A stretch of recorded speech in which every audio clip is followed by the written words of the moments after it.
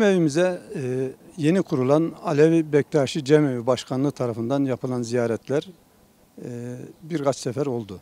Bu ziyaretlerde biz hoşgörüyle, misafirperver olarak gelen canlarımızı e, ağırladık, sohbetler ettik, muhabbetler ettik. Muhabbetlerimizin ve sohbetlerimizin içerisinde Cemevi Başkanlığı'nın bizlere e, ihtiyaç karşılığında yani ihtiyaçlarınızın ne olduğu soruldu. Bu ihtiyaçlarımızın e, onlar tarafından karşılanacağı yönünde e, bazı söylemler oldu.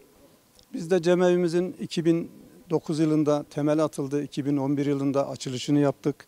Cemevimizin ve e, burada bulunan müştemeliyatlarımızla ilgili herhangi bir sıkıntımızın olmadığını, cemevimizdeki görevlilerin ücretsiz ve rızalık konumuyla çalıştığını, bu yüzden maddi ve manevi yönden sıkıntımızın olmadığını, böyle bir şeye de ihtiyacımız olmadığını söyleyerek çayımızı, sohbetimizi yaptık. Onları sevgiyle uğurladık.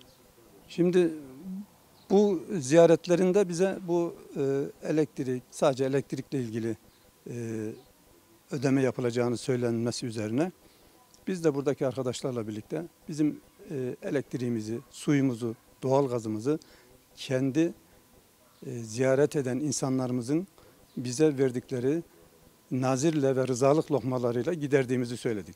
Buna da bir ihtiyacımızın olmadığını belirttik. Çünkü bizim e, buraya gelen canlarımız bu binayı e, 2009 yılında temelini atıp 2011 yılında bitirmeleri kadar büyük bir onur ve gurur yoktur.